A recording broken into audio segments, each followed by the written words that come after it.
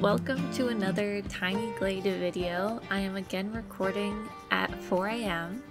Um, this video I made in with inspiration from the graveyard or the cemetery uh, in Saint Denis from Red Dead Redemption 2. I love the graveyard in Saint Denis. It's like one of my favorite places to go in Red Dead. I don't know why.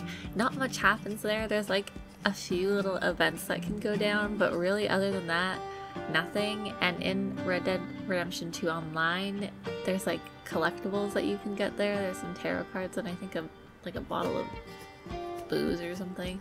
Um, but I just love I love the vibe. I love how it's like not it's not in the city center, but it's like in the city. It's not outside the city, it's in the city walls. I just think it's really cool. And I was really inspired by the like overhead map, like from the mini map or from the, the regular map. Um, and I was like, I could probably recreate that in Tiny Glade. So I was like, I'm gonna do it. And I did it. Um, it was really challenging to do all of the little gravestones because there's no copy and paste. Tiny Glade, please, I am begging to put a copy and paste into this game it would make everything so much easier. The stairs that you could make.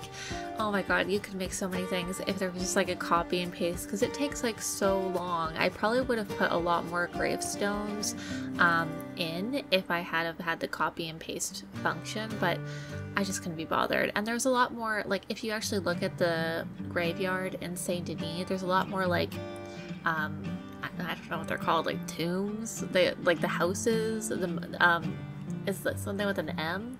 I don't know. Um, but yeah, I um, just wish there was a copy and paste. It would be so much better.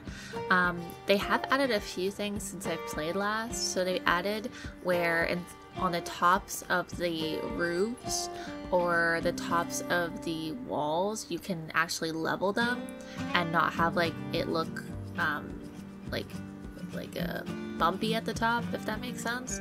Um, which is great because every build that I made was looking like pretty like a castle or like um, like a medieval castle. So that's super nice. Um, and they've also added it where you can change the color of the windows. Uh, so they'll have like have a light coming from it. It won't just be yellow. It'll be you can change it to like purple, green, red, maybe pink.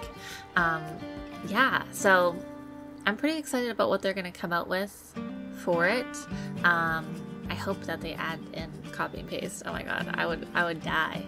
Uh, but yeah, I hope you enjoyed the video and thank you for watching. And I love Red Dead. I love Red Dead so much. One of my favorite games. Top, I would say top three games of all time. Anyway, yeah, goodbye.